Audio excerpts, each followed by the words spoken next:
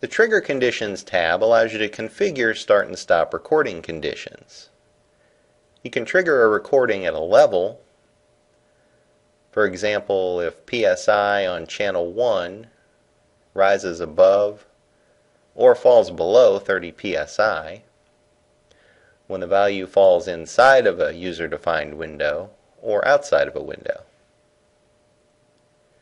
You can change the detection method to level or edge and use logic to combine conditions on multiple channels to start recording. You can also start recording when an alarm condition becomes true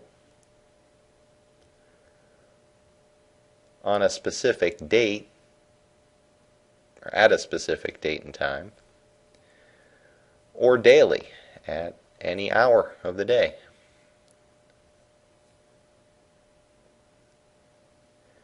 An external trigger is also available if you want to start and stop recording on a high or low signal.